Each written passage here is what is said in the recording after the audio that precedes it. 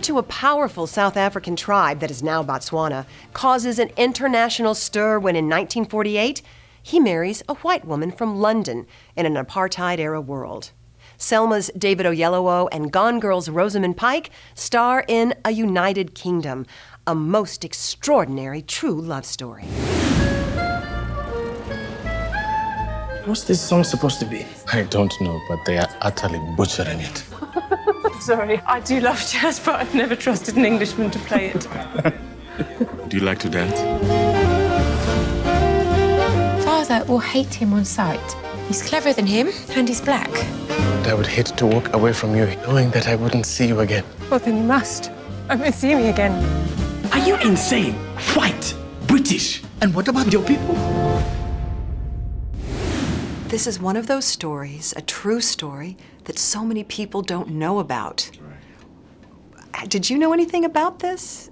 I, didn't, uh, to my shame and shock, when I first happened upon the book about six, seven years ago. But it's one of those stories, as we've seen with people who've seen the, the film, once you've seen it, you just cannot believe you didn't know about them because it's such an epic story in scope and, and lends itself so beautifully to a cinematic telling of it. So, you know, that's one of the privileges of, of getting to do this is the fact that people feel like they should know it and now they can.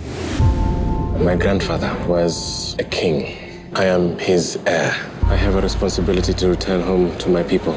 I will never achieve anything worthwhile if I leave my heart here. If you choose to marry the leader of an African nation, you will be responsible for the downfall of the British Empire in Africa. You choose a life of insults and shame. I know what you're asking, what it means. And yes, I will marry you. Over two decades of preparing you to be our king. This is how you face me. My home, our home. Who do you think will accept you? As if it were your right to be our queen. You will renounce any right to the throne. You said epic in scope, and yet it's really a simple love story, isn't it?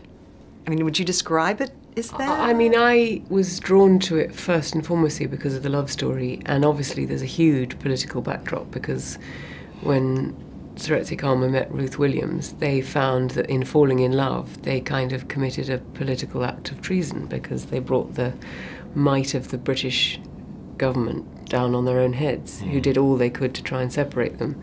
And I think it's the it's the fact that through love you can sometimes be forced to I mean not you know rarely, but you can be forced to conduct that love on a public stage if you mm. have to fight for it. This could make your country ungovernable. We have concluded you should be exiled for life. I can't do this alone anymore. Find your way back to me, Seretse. Find your way back. The whole world is watching. She's stronger than either of us suspected. She is a woman who is loved.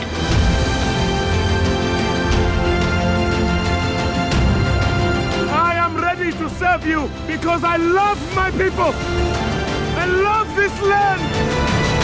But I love my wife.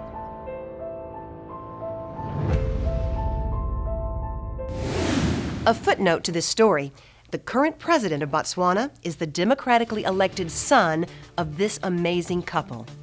Look for a united kingdom in your power zone.